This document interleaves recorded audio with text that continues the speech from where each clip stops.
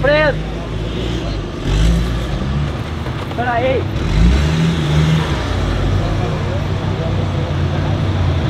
Opa, assiste my mind.